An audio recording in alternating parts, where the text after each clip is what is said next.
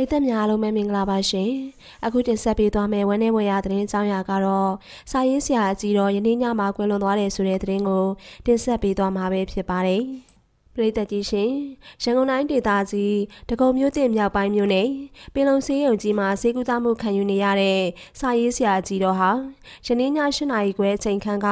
ရုတ်တရက်နှလုံးရက်သွားတာကြောင့်ကွယ်လွန်သွားခဲ့ပြီးဖြစ်ကြောင်း၎င်း၏မိသားစုဝင်များထံမှသိရှိခဲ့ရပါတယ်။ စာရေးဆရာအကြီးတော်ဟာကိုဗစ်ရောဂါကိုနှစ်ကြိမ်ခံစားခဲ့ပူပြီးအတန်လဲတဖြည်းဖြည်းပျောက်သွားခဲ့တဲ့အတွက်စစ်ဆေးကြည့်ရာ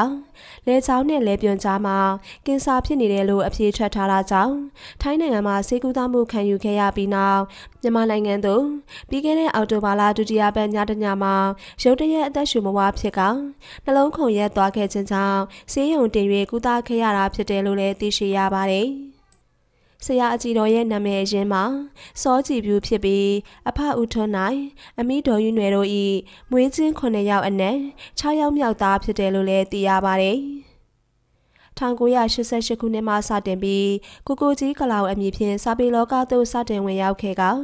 2003ခုနှစ်မှာအကြီးတော်အမည်ဖြင့်လုံးကြီးဝတ္ထုများစတင်ရေးသားခဲ့တာဖြစ်ပါတယ်။ဆရာရဲ့နာမည်ကြီးဝတ္ထုများဖြစ်သောကြောက်တင်မုံတွေမိုးထားတဲ့အိမ်ကဝေပြိုဤနေတံ ချူစီဆွေတရားမောင်တကျိတ်ဇောကားကနေသည်နေတချမ်းလာတချမ်းပြုံးရွှင်ရေးပြောရဲလားဘလူစောကြည်ပြူနှင့်မြဆန်းရီရောက်ခမနှင့်တထောင်တညရွှေမိုးတဲ့အိမ်မက်အပိုက်ခွဲကိုအစားရှိတဲ့ဝတ္ထုတွေကိုရုပ်ရှင်ဇာတ်ကားကြီးများအဖြစ်အသက်သွင်းခဲ့ရပြီး၎င်းဝတ္ထုများအပါအဝင်ဝတ္ထုပေါင်း80ကျော်ရေးသားခဲ့တယ်လို့လည်းသိရပါတယ်။ဆရာအကြီးတော်ဟာယနေ့နိုဝင်ဘာလ9ရက်နေ့ ညပိုင်း၈နာရီ23မိနစ်အချိန်မှာ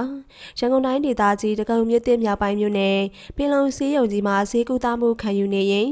ရုတ်တရက်နှလုံးရက်ခါသေဆုံးသွားခဲ့ရတာဖြစ်ပါတယ်။စာဖတ်ပရိသတ်တွေအတွက်အဖိုးမဖြတ်နိုင်တဲ့ဆရာတယောက်ဆုံးရှုံးခဲ့ရတဲ့အတွက်လည်းဝမ်းနည်းကြေကွဲစရာသတင်းလေးပဲဖြစ်ပါတယ်။ဆရာကြီးတော်တယောက်ကောင်းရမွန်ရဘွားကိုရောက်ရှိပါစေလို့ဆုမွန်ကောင်းတောင်းပေးလိုက်ရပါတယ်ရှင်။